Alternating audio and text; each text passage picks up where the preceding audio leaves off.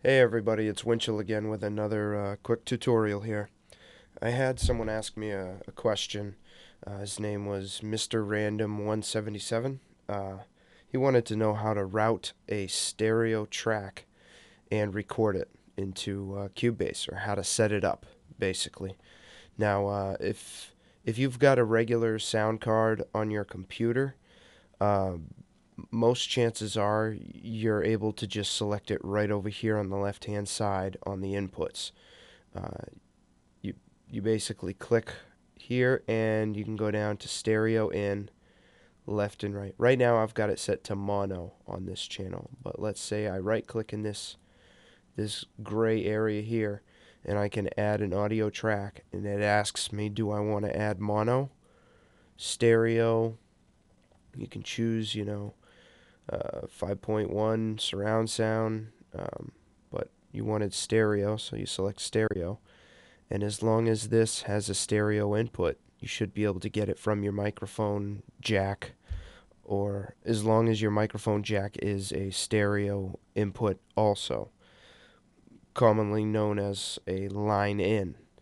Um, also, if you've got a external sound card and you want to try to set up a stereo input input through that. Let's say your sound card is just two input and it only gives you two mono. Uh, you go up to devices and go down to VST connections and it brings up this window. And here you can configure your inputs and your outputs so you can route however you want. Um, now right now I just added a mono track here um, so that way I could do this microphone for this uh, for this tutorial. But what you're going to want to do is add a bus right here and you're going to want to add a stereo bus which is a left and a right.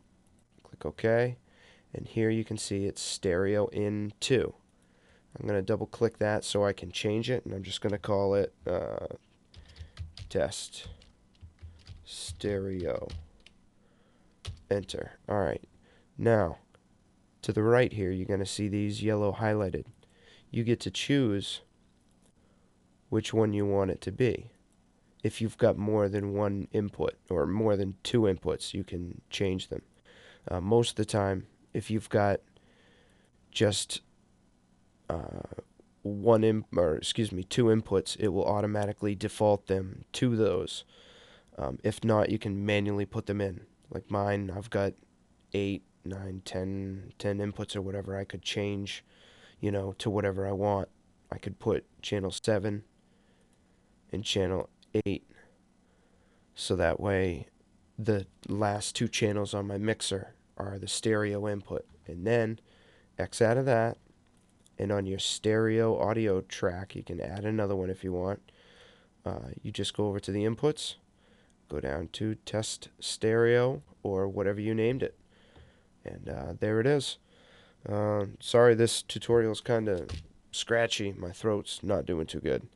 Um, but yeah if you found this uh, informative subscribe. I'm gonna be doing more videos and I'm looking for feedback and looking for uh, any sort of topics you guys are interested in learning.